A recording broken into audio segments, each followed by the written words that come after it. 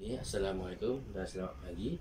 Ini penerangan masa dengan waktu Bagi operasi tambah Tolak, darab dan bahagi Semuanya dalam bentuk lazim. Baik, kita mula dengan tambah dulu. Kita mulakan dengan yang di sebelah belakang Unit yang lebih kecil iaitu unit saat. Pastikan unit saat diletakkan sebelah sini dan unit minit di sini ini unit yang lebih besar Ini unit yang lebih kecil. Jadi kita kena tahu uh, Operasi tambah Unitnya 60 saat sama dengan 1 minit tambah dulu. Tulis dulu saat Unitnya. Di sini minit kan? Uh, Tulis dulu minit. Jadi 40 tambah 20 60 saat. Baik kita ketahui 60 saat sama dengan 1 minit. Kita pindah unit 60 saat kepada 1 minit. Iaitu kita tolak sini boleh ditolak 60 jadi sifar di sini. Gantikan 60 tak tulis boleh tulis 60 saat juga. Uh, sifar saat. Boleh ditulis begini jadi 60 saat dibawa ke hadapan. Ditukarkan saat kepada minit 60 saat sama dengan 1 minit. Jadi 6 tambah 1 tambah 1. Jadilah 8 minit. Di sini tulis 8 minit.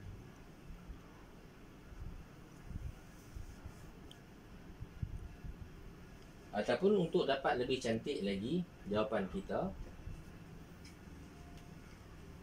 Untuk dapat lebih cantik lagi cara yang kedua.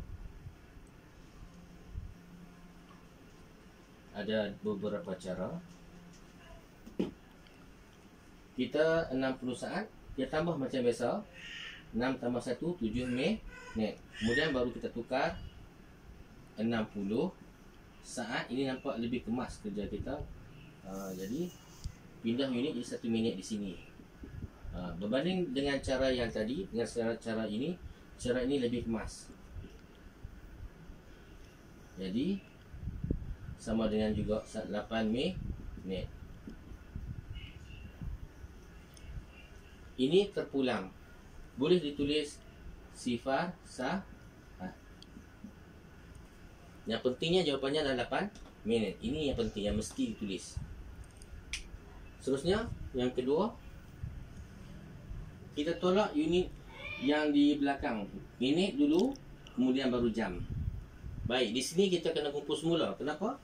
49 tolak 50. Tidak dapat tolak kerana nilainya lebih kecil. Kita kena kumpul semula. Iaitu di di nilai 8. Jadi ingat ini unit jam kan? Jadi 8 menjadi 7 satu jam kita kumpul balik di minit menjadi 60 minit 60 minit. 60 minit situ.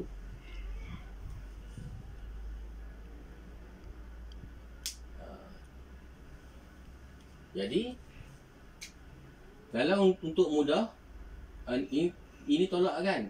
60 tolak 50 jadi 10 10 tambah 49 jadi 59 minit.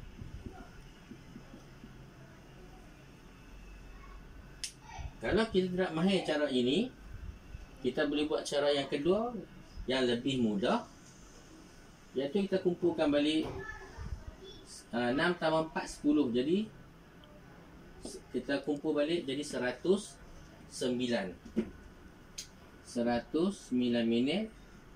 Kita potong 49 sama juga 9 10 tolak 5 5 dapat juga jawapannya 59 minit. Ini cara kedua. Ini tolak terus. 7 tolak 3 4 unit jangan lupa tulis jam selesai. Seterusnya yang ketiga. 6 kali 4 24 dan jangan lupa ditulis jam di sini. Dan kita perlu uh, kita perlu tahu 24 jam sama dengan satu ha satu hari. Habis selesai. Dan seterusnya kita operasi bahagi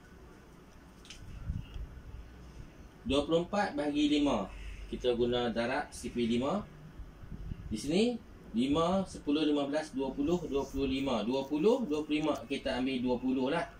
Jadi 5 kali 4 20 Dan jangan lupa tulis minit di atas Ini adalah jawapan. Dan kemudian tergaris di bawah. 24 tolak 20 Bagi 4 Baik, bagi empat ni kita kumpul semula di saat. 4 minit. 4 minit 1 minit sama dengan 10 Jadi 6 kali 4, 24 24 Jadi 20 60 kali 4 20 240 saat Ini kena tambah lah. Jadi tambah dulu 200 80 saat. Jadi kita guna CV 5 5, 10, 15, 20, 25 30 25 dengan 30 Kita guna 25 Jadi 5 darab 5 5 darab 5 25 25 Dapat 28 darab 5 Dapat 3 turunkan sifar 30 ha, ini lebih mudah lagi. 5, 10, 15, 20, 25, 30 jadi dapat 6 di sini. 6 kali 5, 30 selesai.